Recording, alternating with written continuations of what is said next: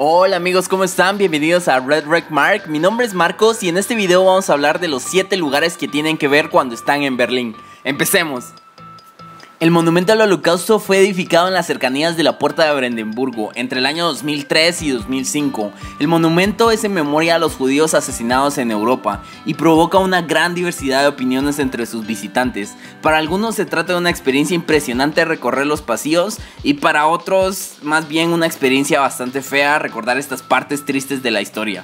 Sea cual sea el resultado de la visita, lo que es claro es que el monumento es una parada obligatoria para todos los turistas. Y mi consejo es que escuchen lo que dicen los demás y vengan a tomar su propia opinión. El Parlamento alemán se trata de un edificio histórico coronado por una gran cúpula moderna por la que se puede transitar. La cúpula fue rediseñada por el arquitecto Norman Foster después de que la original fuera bombardeada durante la Segunda Guerra Mundial. Actualmente se puede visitar el Parlamento alemán, solo es necesario realizar una reserva de forma anticipada. Les voy a dejar el link aquí abajo en la descripción de este video por si alguno de ustedes está interesado.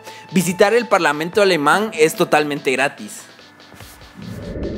La puerta de Brandenburgo es una de las antiguas puertas de entrada a Berlín, además de uno de los símbolos más importantes de la ciudad. Inaugurada en 1791, la puerta es un símbolo del triunfo de la paz sobre las armas. Tanto de día como de noche, esta zona es uno de los puntos más agradables de ver en Berlín. La puerta se mantiene continuamente rodeada de turistas, además de uno que otro personaje disfrazado, como este oso que están viendo en pantalla. La edificación del muro de Berlín y especialmente su caída han formado parte de los momentos más importantes de la historia del siglo XX. Este muro dividió a Berlín en dos partes durante casi tres décadas, separando a familias y amigos. Entre 1961 y 1989, más de 5.000 personas trataron de cruzar el muro y más de 3.000 fueron detenidas. Alrededor de 100 personas murieron en el intento, la última de ellas el 5 de febrero de 1989. Todavía hoy en día restos del muro se pueden ver a lo largo de Berlín. El Museo del Pérgamo es el más imponente de todos los museos de Berlín. En el interior del edificio con aspecto babilónico se expone la impresionante colección de antigüedades, además del Museo de Oriente y el Museo de Arte Islámico. No se trata de un museo más, sino un lugar completamente diferente debido a las enormes y valiosas construcciones que alberga, totalmente imprescindible.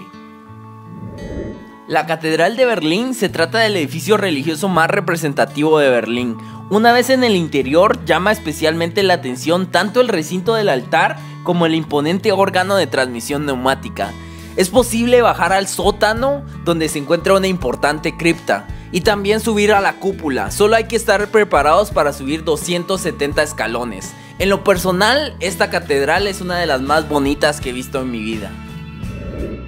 Checkpoint Charlie fue el punto de paso más conocido durante la Guerra Fría. Después de la construcción del muro de Berlín quedaron pocas fronteras a través de las cuales los ciudadanos podían moverse entre las dos Alemanias.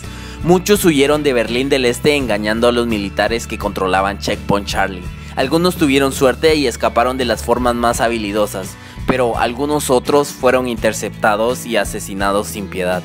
En la actualidad hay una pequeña frontera en la que los turistas se fotografían sin parar, y esta área ha dejado su oscuro pasado para convertirse en una zona muy agradable.